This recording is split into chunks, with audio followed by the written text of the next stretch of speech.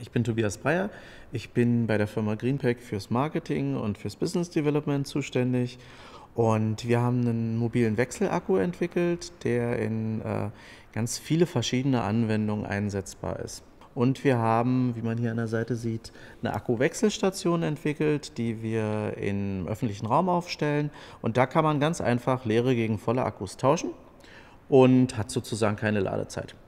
Greenpack ist ein offenes System, das heißt, an diesen Wechselstationen wird man nicht nur Greenpack-Akkus wechseln können, sondern in Zukunft auch Akkus von anderen Unternehmen, von anderen Anwendungen. Das heißt, dieser, dieser Sharing Point, dieser Akkuautomat äh, wird ein, ein, ja, so ein Energiehub sein, ne, wie eine Tankstelle.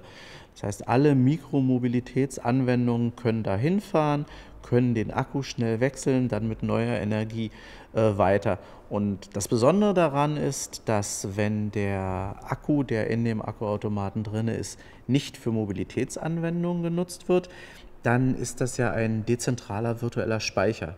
Das heißt, äh, auch für die erneuerbaren Energien äh, kann man diesen Speicher dann einsetzen und eine Lastverschiebung machen. Das heißt, mittags, wenn die Sonne scheint, niemand den Strom braucht, werden die Akkus geladen und abends kann ein Teil von dieser Kapazität zu Spitzenzeiten zurück ins Netz gespeichert werden. So ein Wechselakkusystem, äh, ein leistungsfähiger Akku, der schnell getauscht und geladen werden kann, ist ein Grundbaustein für die Mikromobilität.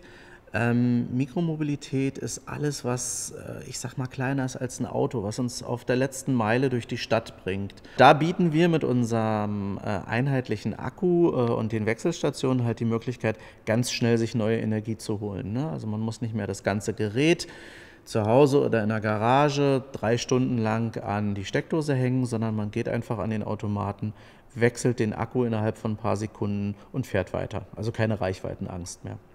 Wir wollen was machen, was äh, den Leuten Freude macht, was die Welt verbessert, was einen ganz, ganz großen Einfluss hat auf Umweltschutz, auf die Mobilität in unseren Städten, äh, ja, auf die Energie und auf die Verkehrswende.